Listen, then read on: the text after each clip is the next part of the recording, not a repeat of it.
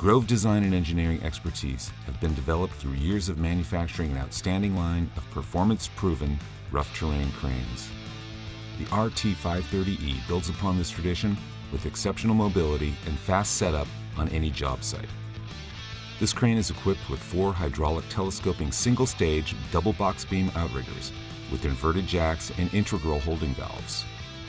The outriggers have three position settings, 0, 50%, and fully extended. The boom on the RT530E is a 29 to 95 foot four section full power boom with a maximum tip height of 102.5 feet. This synchronized boom uses a single lever joystick control to extend boom sections equally. The Grove RT530E also comes with a 45 foot offsettable telescopic swing away extension.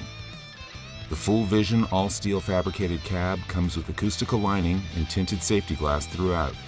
The ergonomic deluxe seat incorporates armrest mounted hydraulic single axis controllers. The dash panel incorporates gauges for all engine functions. A powerful 155 horsepower Cummins QSB 5.9 liter diesel six cylinder turbocharged engine provides a maximum torque of 440 foot pounds at 1500 RPM.